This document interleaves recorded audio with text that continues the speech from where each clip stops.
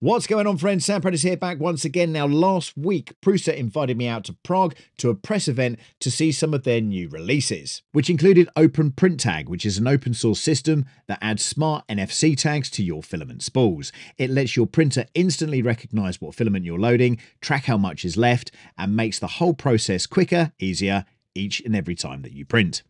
And of course, I'm very interested to see who picks that up and actually open sources and adopts this moving forward. Next was the Core One L.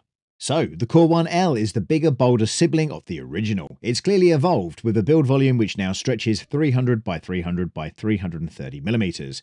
Yet it's actually lighter, heats up faster, and packs some serious upgrades.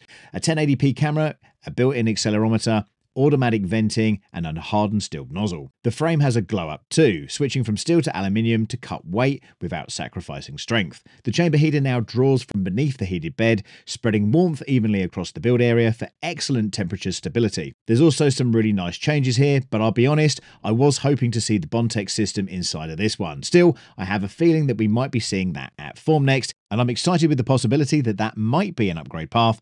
Well, we'll see that in November. Links, of course, for this machine will be down in the description down below. Now, I have got an email because we don't have a printer yet, which is kind of weird, right? Especially with a printer release like this. Now, Apparently, it has shipped. It's going to be here on Monday. The embargo for this video, of course, is 2 p.m. on the 31st. So happy Halloween to you. It says here that it's going to be delivered to me on Monday. I've also got a shipping notification as well, but you're not going to be able to buy this printer until Friday, the 7th of November. So, again, if the links aren't there now, they will be there later. And of course, a full review will be coming in due course. What's next? Well, next we come to Signature Oak. Now, you might remember seeing a version of this at Formnext last year, and at the time, many thought that it was just a dig at a competitor. But what started as a playful jab turned into something far more meaningful. The response was overwhelming, and people didn't laugh it off, they actually wanted it. So now Prusa will be producing just 250 of these very special units. And this isn't a marketing move. This is a deeply personal project for Josef Prusa himself. He shared heartfelt memories of his father, of growing up surrounded by the scent of wood shavings and the sound of tools at work.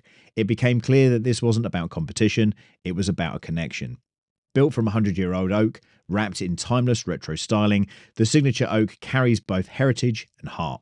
It's a tribute to where it all began and for those who believed in the vision from the very start. And to be quite honest with you, I really want one, and maybe you will too. So moving on, we get to see the new version of PrusaSlicer, and this one really caught my attention because now we have project tabs. This means that no more juggling of multiple windows and separate instances, you can simply switch between projects seamlessly and just keep creating. And what I appreciate here and what some often forget is that Prusa really never stops working. They're still refining, they're still innovating, and whether or not you love them or criticize them, there's no denying their impact.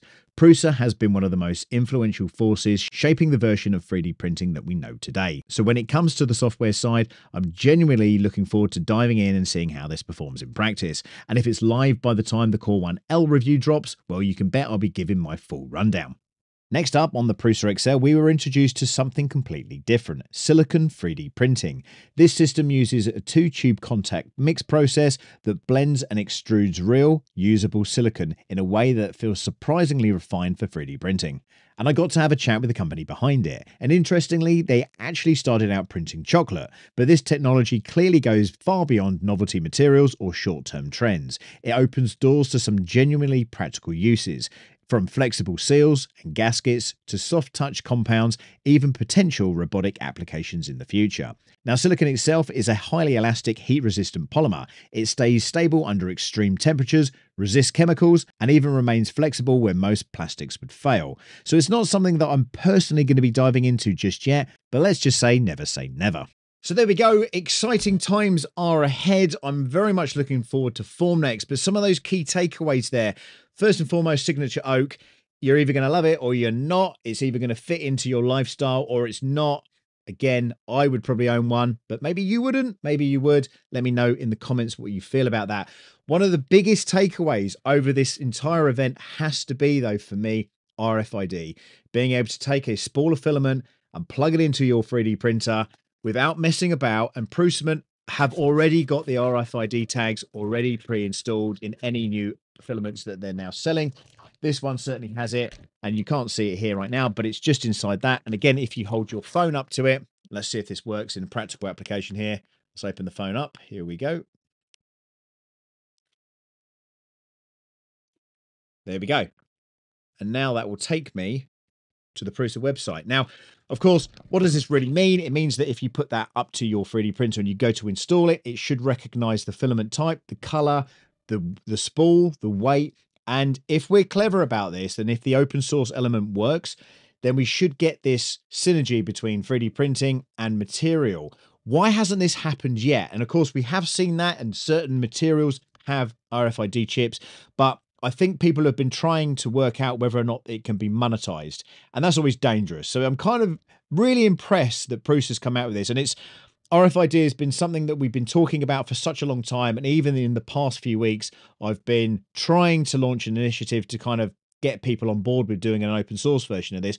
But of course, companies will always try and monetize this. So big, big encouragement there. Thank you very much to Prusa for taking a bold step into uh, relinquishing this. And certainly, I would hope that other 3D printing manufacturers, and certainly polymer makers, um, will hopefully jump on board with that. And of course, you know who I work with and you know who I talk to. So again, I'm hoping that we're going to see something there in the very future. So what do you guys think about the Core One L? Again, it looks phenomenal. It looks like a great printer, but I am going to be waiting for Formnext to see what happens there. And I do believe we're going to see a Bondtech combo and maybe it's going to be a bolt on. Links, of course, for everything will be down in the description below.